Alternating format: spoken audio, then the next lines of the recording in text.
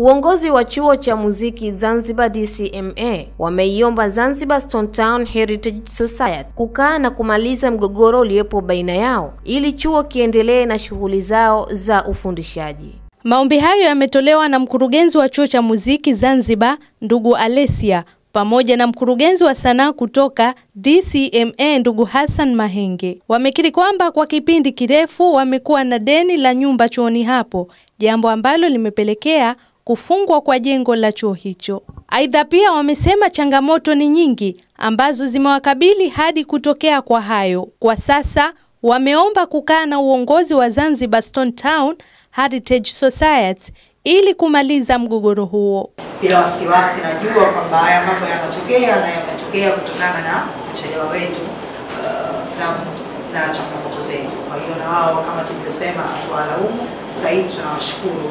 Tumekuwa tukishirikiana vizuri sana na wahusika wa, wa jengo hili na hatuwalaumu hata kidogo. Ni haki yao kutudai na hatujakataa kulipa. Kweli jengo ni la kwao, lakini tunawaomba sana tena sana kwamba bado tuna nia dhati na thabiti kabisa ya kulipa. Changamoto kubwa ni kustopisha kustopu kwa hizi shughuli kuendelea. Tunashindwa sasa hata ku, ku, ku, ku, kuendelea kufanya harakati za kulipa kwa haraka deni lote, kwa sababu tunashindwa kuwasiliana na hawa wadau. Kila kitu kimefungiwa ofisini, kompyuta zote zimefungiwa ofisini, mawasiliano yote yamefungiwa ofisini. Aidha, ndugu Hassan Mahenge amesema wapo na kiasi cha fedha ambacho wamepanga kukiwasilisha kwa Zanzibar Stone Town Heritage Society na kuwaomba kukaa meza moja ili kupatikana kwa mwafaka wa jambo hilo.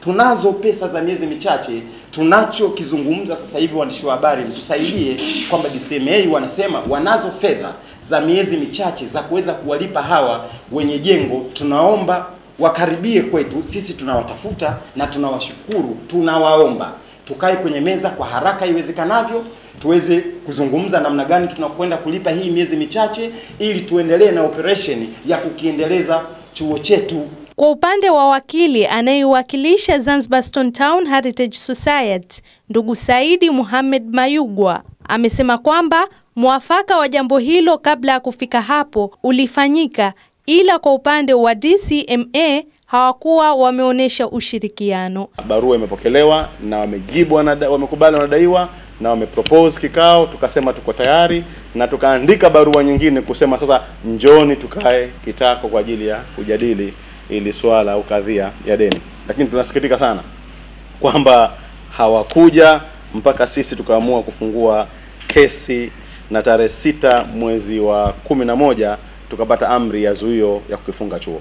Aidha, pia amesema kwa sasa kesi ya dai la deni hilo liko mahakamani, ila amewaomba DCMA kukaa na wakili wao na kufuata taratibu za kuwasiliana na mdai ili kupatikana mwafaka. Siku zote unapodaiwa na unawakilishwa na wakili, unarudi kwa wakili wako, naambia wakili, mimi pesa nazo, nataka jengo langu lifunguliwe, nataka jambo hili tulitatue. Wakili wako atachukua taratibu za kukuwakilisha kwa mdai. Sisi tuko tayari kuwasikiliza, waje kwetu na tutawasaidia vizuri, na wakilipa deni, sisi kama tunatangulia kusema mara nyingi hapo awali kwamba wateja wetu ni waungwana na jengo litafunguliwa bila wasiwasi wote. Nikiripoti Sada Hafidh Badru, TIFF TV.